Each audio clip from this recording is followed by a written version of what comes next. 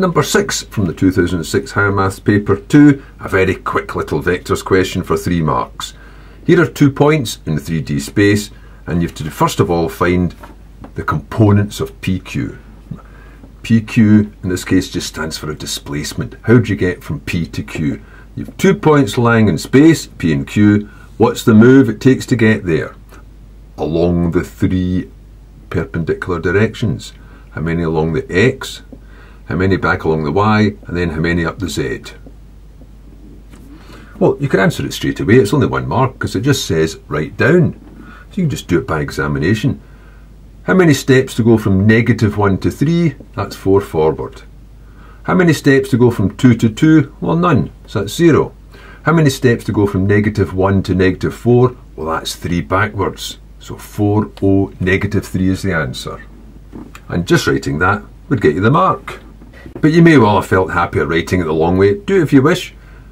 PQ would be Q minus P in terms of the position vectors. Q is 3, 2, negative 4, 3, 2, negative 4. Take away P, which is negative 1, 2, negative 1, thereby arriving at the obvious result. 3 take away negative 1 is 4, because it's 4 forward. 2 take away 2 is 0, because there's no move. Negative 4, take away 1 is negative 4 plus 1, which is negative 3, and of course it is. So there's one mark.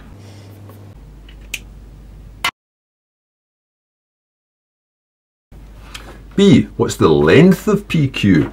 How long is this line that joins the point P to the point Q? Well, that'll just be Pythagoras in the three dimensions. The notation for it would be to have the modulus signs either side of PQ, standing for the length part only.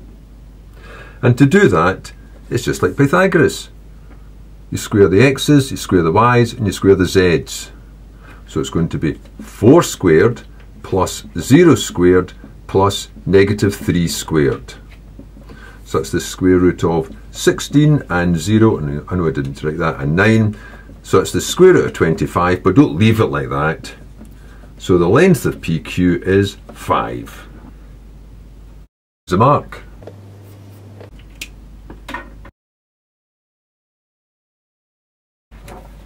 Part C. Find the components of a unit vector which is parallel to this. Well, if it's parallel to it, start any way you like. If it's parallel to it, it must go in the same direction. So it must follow the same ratio of steps, four along, none back, and fact three down in this case. But you can't go all the way from P to Q because that would have length 5. If you want to head off in that direction, but only cover one unit because it's a unit vector, that means I'd only go one fifth of this distance. Now there's no name for this, so I'll just put down unit vector would be one fifth of this, one fifth of the same components.